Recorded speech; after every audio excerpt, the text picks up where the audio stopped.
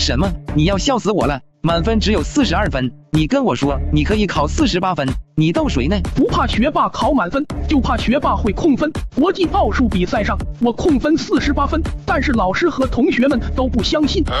文瑞，你是出来上厕所吗？不是啊，我交卷了。你怎么可以提前交卷？你知道这样子参加比赛的机会多么难得吗？你知道这样子的机会是别人可能一辈子都得不到的，你不珍惜，也要想想你的队友呀。我都做出来了，都做出来了，这可是国际奥数啊！你这么短的时间全都写完了吗？话还没说完，就有一个少年哭着走了出来。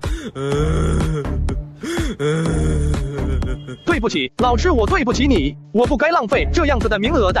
我来参加比赛，完全就是一个凑数的。考完了吗？嗯，考完了。老师，我不想活了。你怎么了？考得不好，也不至于死呀。老师，对不起，我是我们学校，我们市区唯一的希望。我努力学习，就是希望可以在奥数上展现自己的才华。但是，但是，怎么了？但是我一道题都不会，我感觉我能零分。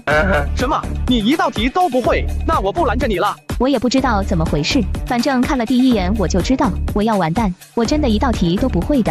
哎，算了吧，这次过来就当长经验吧。老师，那个男生是第一个出考场的吗？是的，怎么了？他为什么这么淡定？而且这家伙还在打游戏，这家伙难道就不知道什么是羞耻吗？自己考了那么差，就应该难受一下的吧？或许这就是华夏那边考试锻炼出来的心态吧。不管任何时候都不是很慌张。文瑞，你看看，别人都慌张的要死，你还有时间打游戏？反正都考完了，我还能干嘛？接着，我们队的其他成员也走了出来。老师，我估计能对三道题吧，剩下三道题估计能拿一点步骤分数。如果批卷给的宽松点，估计上三十不难。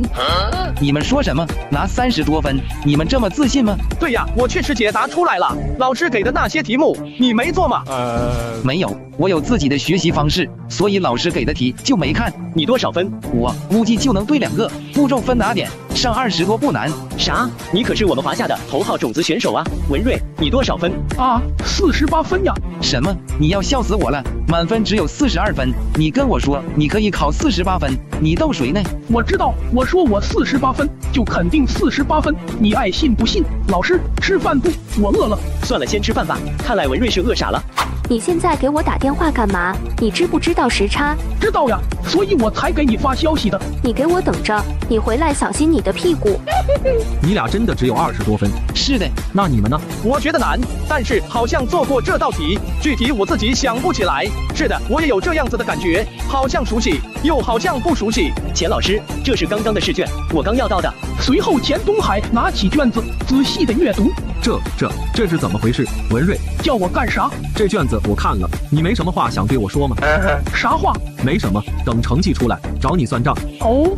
此时的阅卷组内，肯定不是作弊。这个孩子是我监考的，我知道你说的意思，但是这样子的成绩实在是很难交代。是的，我们也需要平衡一下每个人的分数。如果出现特别高的分数，很多人是没办法接受的。在场的你们，有几人敢说自己的学生有这个学生掌握的好？高斯的数学知识，西格玛的理论，罗巴斯特的非欧几何的运用，我支持按事实打分。一个优秀的数学天才是全世界的瑰宝，我赞成这个孩子得到这个分数。我不接受，我怀疑这个孩子提。前知道题型，我找到了华夏人的卷子，其中四人的解题思路是如此的相似。我想，就算你再是模板教育，你也不可能把步骤给演算出来吧？那怎么办？那进行仲裁询问吧。你要知道，如果进行仲裁了，对方没任何问题，你们就需要承担后果。我知道，但是他们的卷子实在是太奇怪了，我愿意承受这份后果。我希望仲裁，那就去找他们吧。